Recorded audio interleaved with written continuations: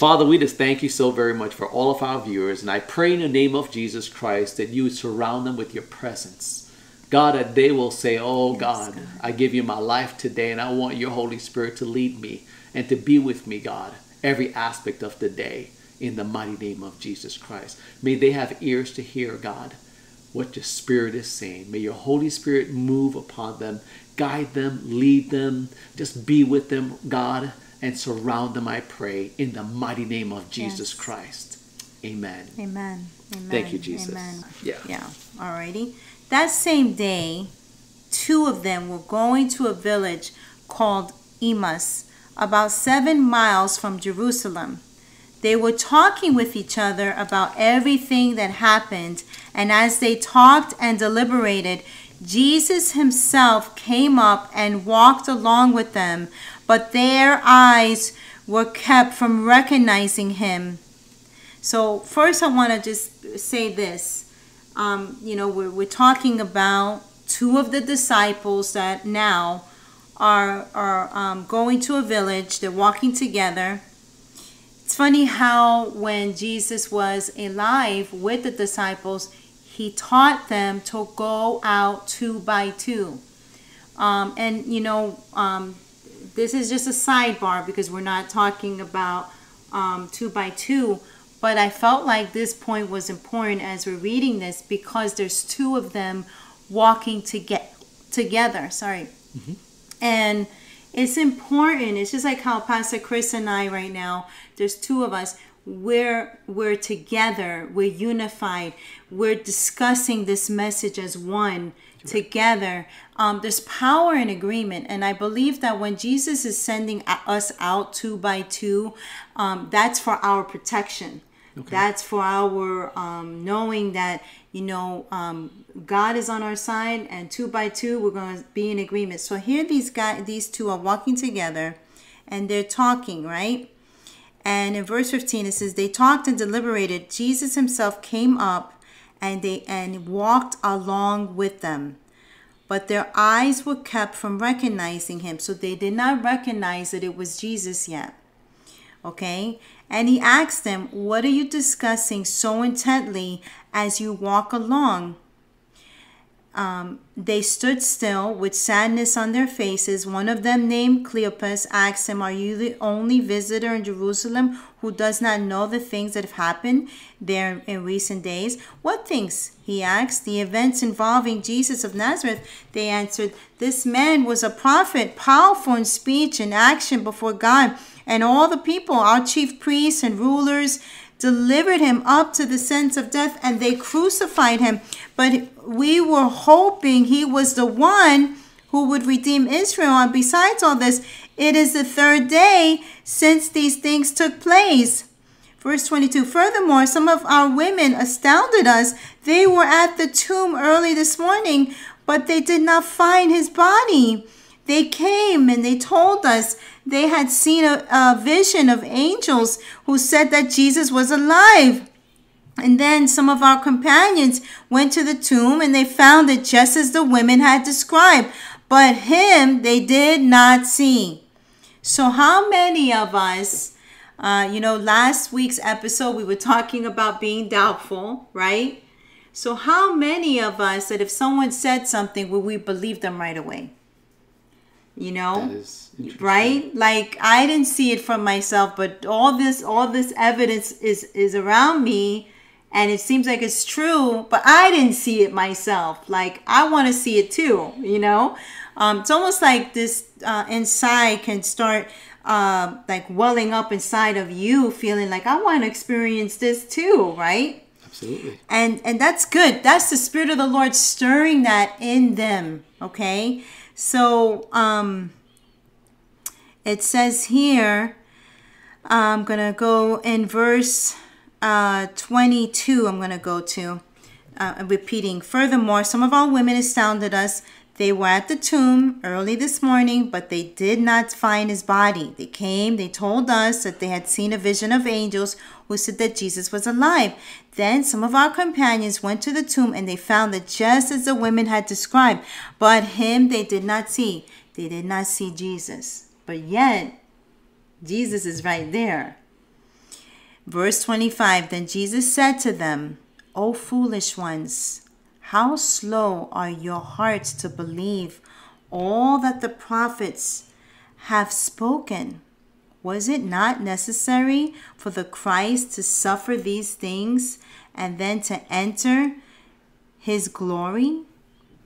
And beginning with Moses and all the prophets, he explained to them what was written in all the scriptures about himself how precious that Jesus would know that they are um, perplexed and they're in a situation where they had great hope that Jesus would come and redeem Israel, the Bible says. But I think that they were probably had a perception of it. He was going to come in like an army and he's going to say, okay, you Roman soldiers, get out of the way and, you know, come, come up about and just do you know take over and and hey you know stop oppressing the, the, the, people of israel. Maybe they expected it in a certain way and it just did not happen that way. God had a way that he wanted to give them eternal life yes. in jesus name. So that that could really um, be a situation that we all are believing god but it's not happening the way we really hoped Correct. or even had a perception of what we thought. You know maybe we had hey it could happen in either three or four ways and none of those ways it's happening. But you see progress that something is happening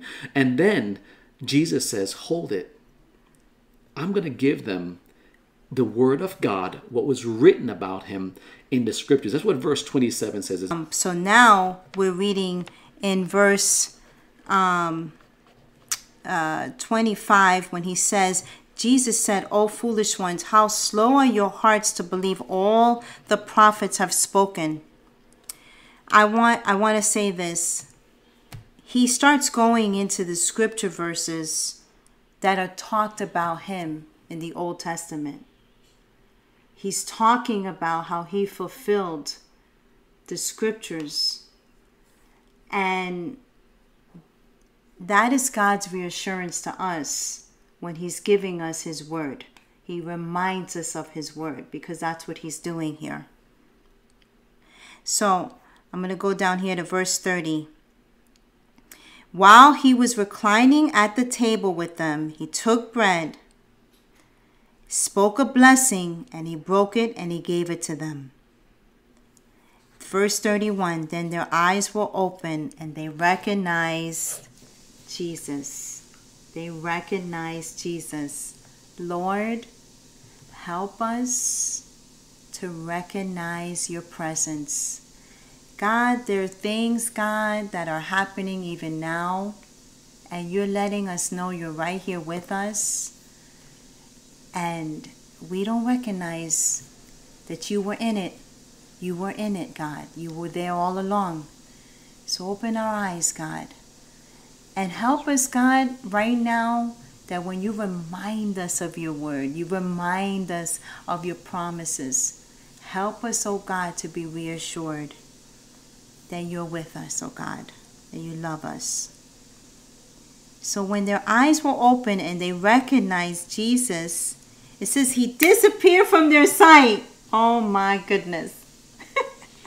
oh my goodness. I think that you've seen it in the movies. This happening for real. he was there and then they couldn't see him.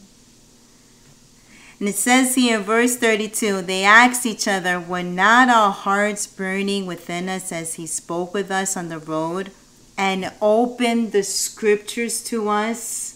This is why you hear Pastor Chris and I constantly say, Read the Bible. Get in the Bible. Read the Bible every single day because it is God's truth, it is His love letter to us. And it says here that, um, verse 33, they got up that very hour, they returned to Jerusalem. That there they found the eleven and those with them gathered together, and they said, The Lord has indeed risen and has appeared to Simon. Verse 35 Then the two told what had happened on the road and how they had recognized Jesus in the breaking of bread.